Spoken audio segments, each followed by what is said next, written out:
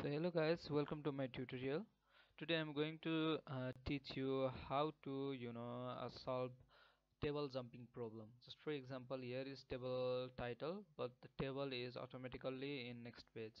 So for this please click on this uh, show and hide uh, signal. So here is space break. Delete this space break. So one of the way is this and similarly there exists other way. I will teach one by one. Similarly another way is please go to uh, so here is some space. So I want to bring table below in this space. So for this please go to uh, design first.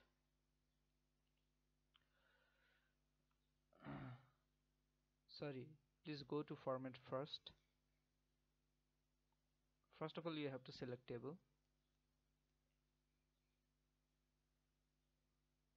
And go to design first. After that here is you know checked option. So you have to uncheck it. This one this one this one this one. Okay? And uh, after this you have to go to layout. And here is repeated row option.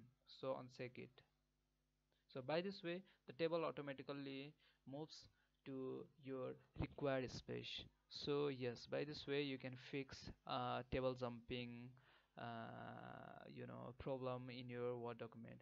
So i hope this video is very useful to you. Uh, please don't forget to like share and subscribe my channel. Uh, stay tuned.